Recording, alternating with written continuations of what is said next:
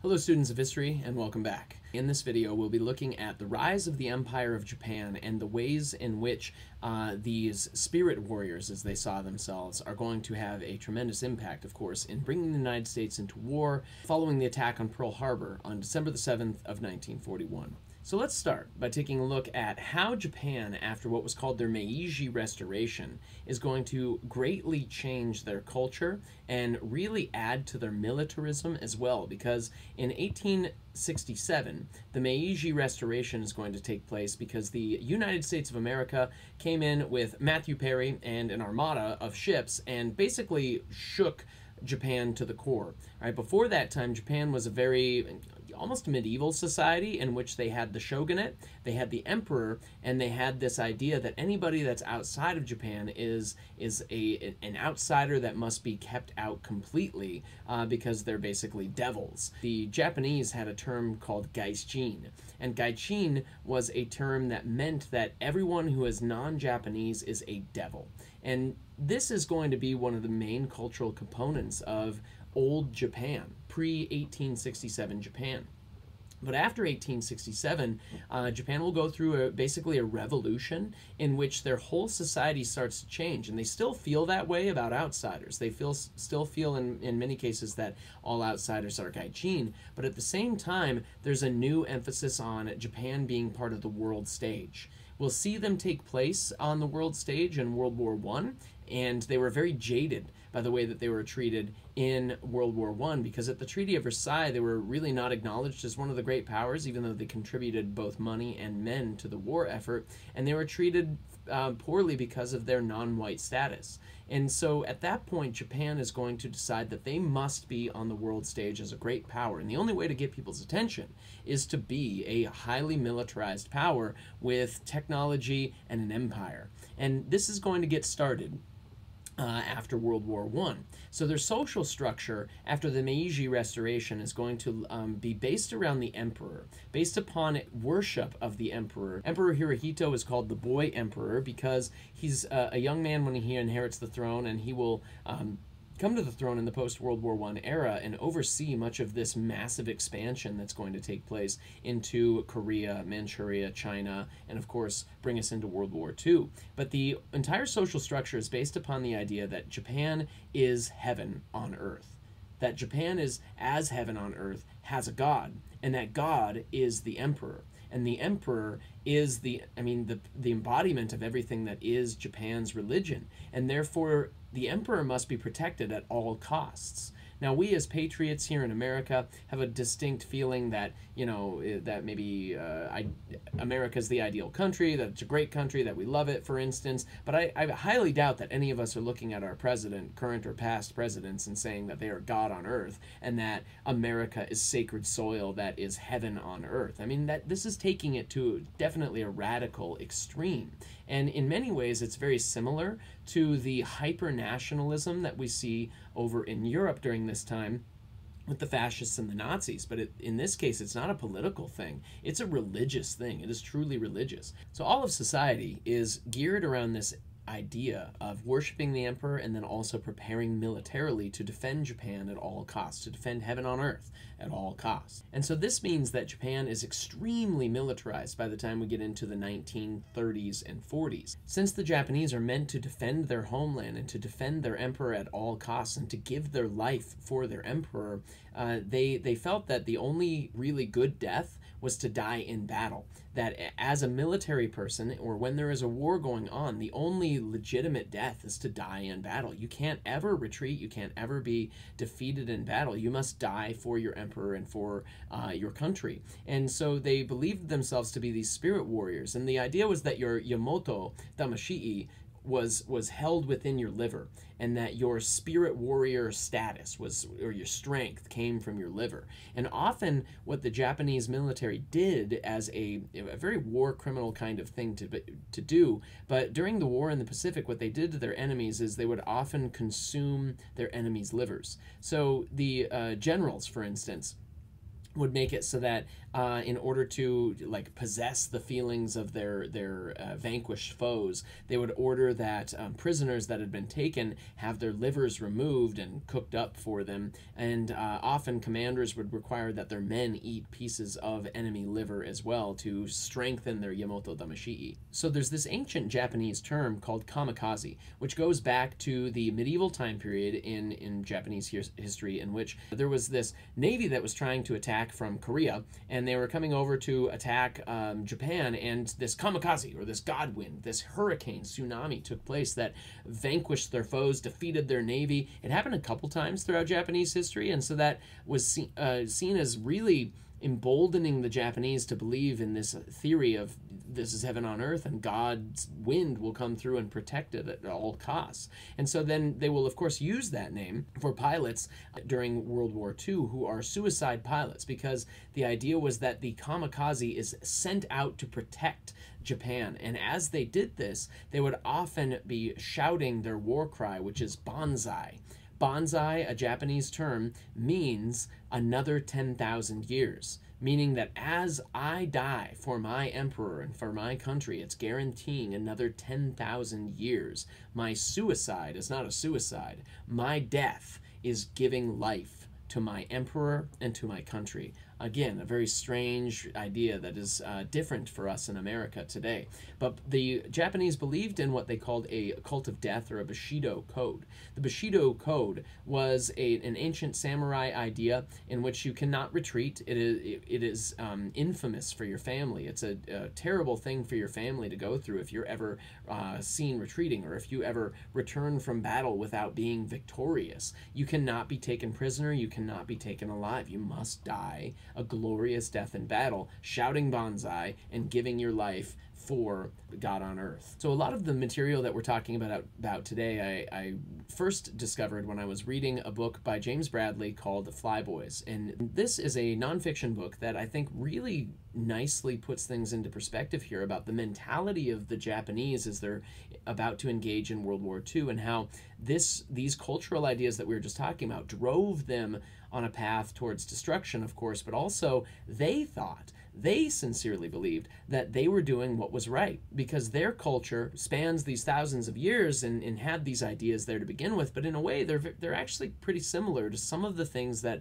they were witnessing from Western powers in the 19th to 20th century. Because you see, in the 19th and 20th century, and, and even further back, as you look at American history, for instance, we had this thing called manifest destiny, in which th- there was this idea that America is you know God's chosen people and that they're meant to spread from coast to coast. And millions of Native Americans, uh, Mexicans, um, Hawaiians, millions of people are going to to face this threat of American expansion, and they will be defeated and pummeled and and forced to assimilate or you know be isolated onto reservation systems. And the Japanese were watching all of this and saying, you know, we we have that same idea. We want to do that same thing where everyone else is less than us, and since God is on earth, it's our manifest destiny, or what the Japanese would call their haku ichiu, to spread across the Pacific. So whereas the United States said it was God's gift to America to spread from coast to coast. Essentially, the Japanese are saying the same thing that Haku Ichiu says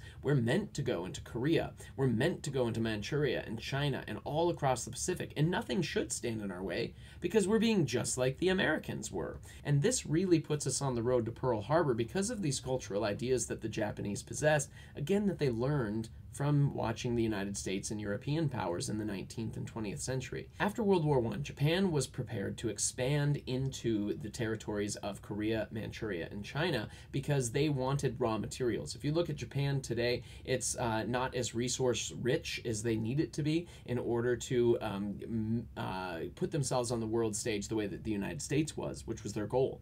And they were highly dependent upon imports from countries like the United States to provide them with, with oil and uh, the fuel that they needed in order to perpetrate their war machine. So what they did was they decided to go on a rampage throughout uh, Manchuria and Korea and China, taking slaves as they went as laborers and experimentation, but also um, in order to get raw materials. So for instance, in the invasion of Korea, the Japanese are going to take tens of millions of people as either slave labor or as what the Japanese military referred to as comfort women. Comfort women were young girls and women that were um, used as sex slaves for the Japanese military and especially for their upper ranking officials, but they would also um, give their men the, the rights to these women as well. So there were hundreds of thousands of women that were, were raped on a daily basis by the Japanese military. And, and as they spread through Korea and then took these tens of millions of people as slave labor,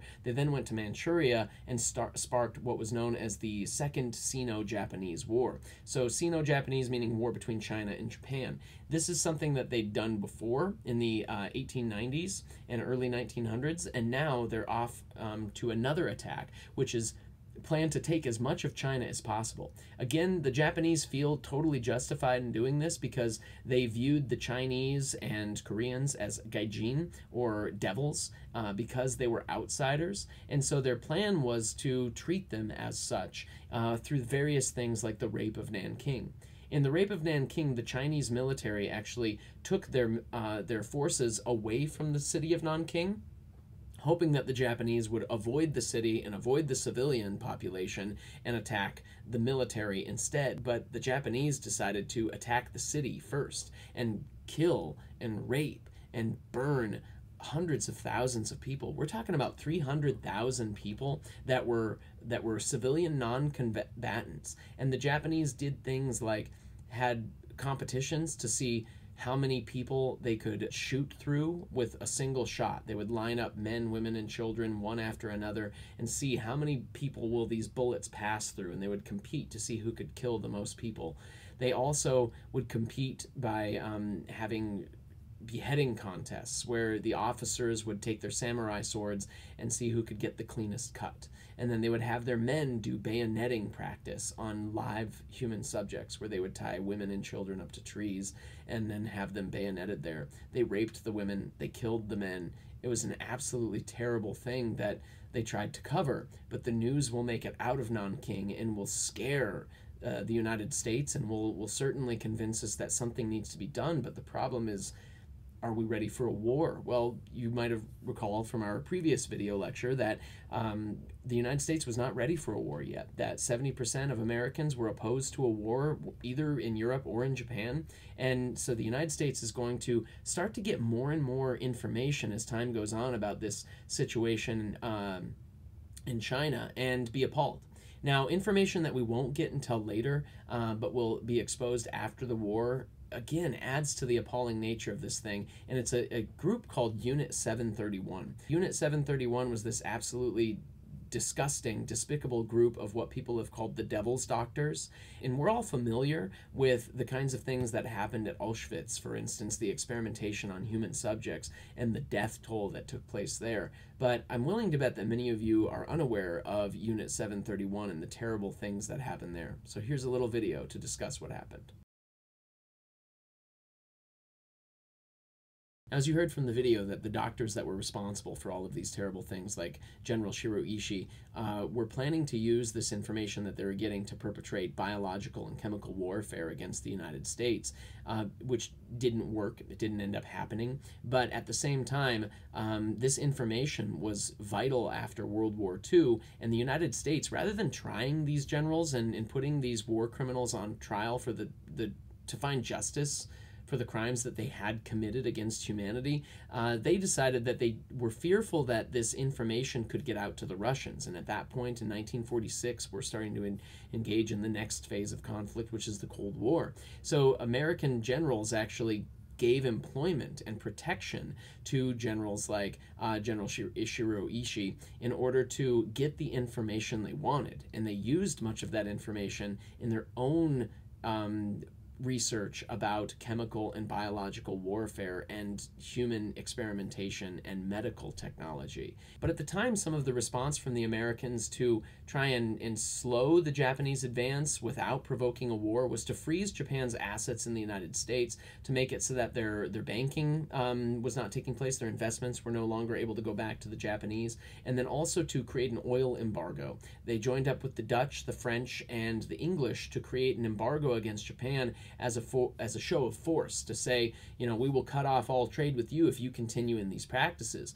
And and rather than preventing the war. What this really did was it angered Japan to the point where they uh, they called America a bunch of hypocrites and said, "Well, if you're going to do that to us, then there's a target on your back." At that point, while we had been before not necessarily allies, but we'd been cooperative, especially in trade relations. Now Japan is going to uh, look for an opportunity to take out the United States in a single blow. Part of the reason that Japan is calling the United States a bunch of hypocrites is because they're looking at our own history in the United States with our, our manifest destiny, whether it be the deaths of tens of millions of Native Americans, whether intentionally or unintentionally through disease, or through intentional acts, acts of war that we had committed that were indeed, in many ways, criminal. Like, for instance, you might recall that during the Spanish American War, 200,000 Filipino citizens were killed in a guerrilla conflict trying to fight against the United States as we were trying to take over their island nation. And at one point, you may recall that the order went out from an American commander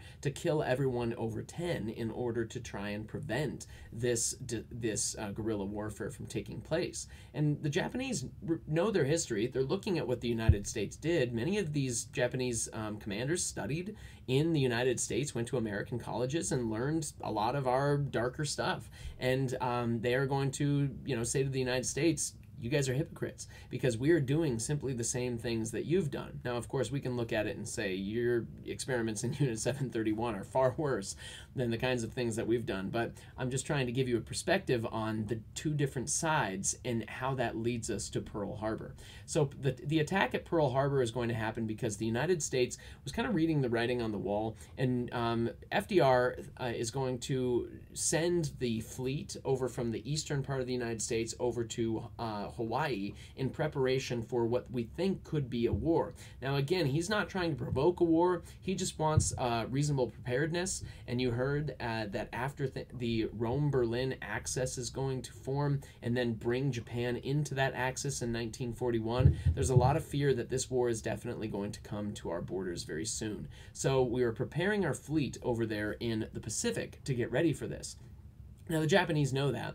And so, what the Japanese had planned to do was to attack um, on a Sunday at just after 7 in the morning at Pearl Harbor, but also to attack the islands of the Philippines, to attack Guam, to attack all of the strategic key points in the Pacific to make it so that in one huge attack, that they would be able to annihilate the American forces and, and cripple our Navy, but at the same time provide them, if necessary, a launching pad to invade the United States itself. Now, the way in which they plan to do this is through the use of kamikaze pilots and Kairyu submarines. These kamikaze bombers, remember that it means Godwind. They think that they are protecting their nation by doing this. These men had to fly about eight hours distance, and so that really only gives them enough fuel to take off from their aircraft carriers and then to fly all the way to Hawaii, and they had to do it in absolute radio silence. The way in which they're finding Hawaii is by listening to Honolulu ra- radio stations and in targeting their planes or, or navigating their planes based upon the radio waves that they're hearing from Hawaii itself. So they will that those will lead them to the islands, and then once they go in for the attack, they really only have enough fuel in order to um, fly over the uh, the naval base several times to make their attack runs, and then after they are about to run out of fuel or once they've used all of their ammunition, their goal is to fly directly into any targets that they can. Now the Kairyu submarines are another method of doing the same kind of thing. Really, they only have enough fuel to get over to uh, the island of Hawaii and then perform their attack. And then after that, they're supposed to crash their submarine into the ships themselves. So there's a controversial theory that the United States might have known about this attack ahead of time. And there's certainly some evidence to indicate that we, we, we could have seen this thing coming. Um, the Japanese are planning this attack just after 7 in the morning on a Sunday, knowing that many of our men will either be asleep or they will be at, going to church, and so they will be much more vulnerable target that way. Um, but thankfully, the U.S. had much of its fleet out on maneuver in order to keep prepping and practicing for the event of a war. But at the same time, there was very little indication to prove that for sure there was going to be an attack. We didn't know when it would happen, we didn't know where it would happen, but we knew an attack would happen at some point. This attack is going to be a well coordinated thing that will hit not only Hawaii, but also the Philippines and Guam, essentially within just hours of each other. And there really was no way to get the news from one base to another, let alone to the president in time, to prevent anything from happening here. So we'll take a look now at a clip from the movie Pearl Harbor to help put it all in perspective. Terrible day in American history. And honestly, we were very lucky in this occasion because it could have been so much worse. A good indication of that is that the Japanese were supposed to hit this area right here. That area is the um, the oil for the entire naval fleet in the Pacific, and there's millions of gallons of oil there. And the theory is that had the Japanese hit that target the way that they were supposed to, then it would have crippled the US fleet for maybe as much as another five years.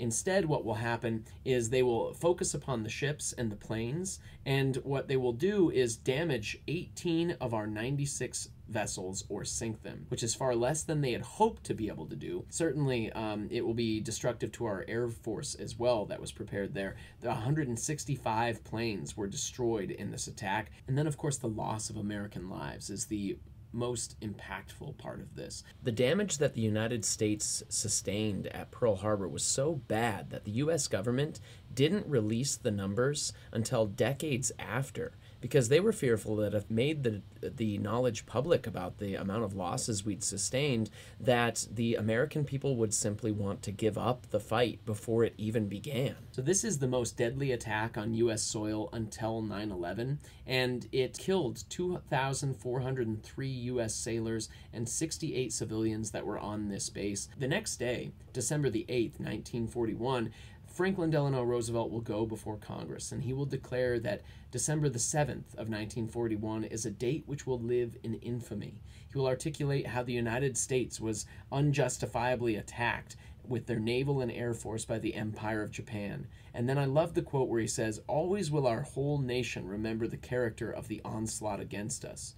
No matter how long it may take us to overcome this premeditated invasion, the American people in their righteous might will win through to absolute victory. Oh, what a beautiful quote, right? And and certainly going to inspire Congress to vote in favor of a declaration of war. Now you might recall that in our declaration of war in World War One was uh, was certainly in favor of war, but at the same time had a lot of people that were dissenting in that decision. That's not the case here in World War Two. There was in fact only one vote that was opposed in all of Congress, both the Senate and the House. Only one vote that was opposed to war uh, in World War Two, and that person was Jeannette Rankin the female representative from Montana, the first female congressperson in American history. She was elected from Missoula, Montana, became a congressperson in World War I and voted no at that time. And then here she got reelected once again just before World War II, and she will end up again voting no